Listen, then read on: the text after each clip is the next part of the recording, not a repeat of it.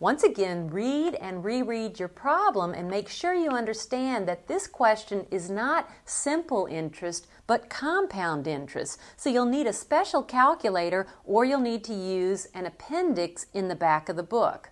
But for compound interest, the total amount will equal the original principal.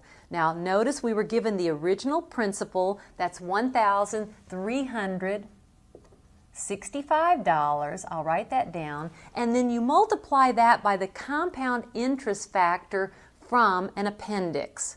Now we were given that it's compounded annually, so find the table with compounded annually at 8% and we're interested in 5 years. So you'll need to find 8% and 5 years and find that compound interest factor.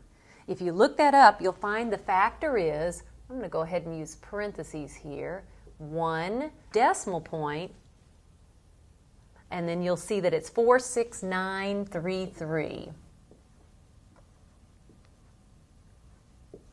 So you'll simply multiply these two amounts. Now, unlike the simple interest formula, this actually gives us the total amount and not just the interest. But I'll let you multiply, and if you multiply and then you will approximate, we'll round it to two decimal places, you'll have 2005 rounded to two decimal places, decimal point 64. What does that mean in the context of our problem?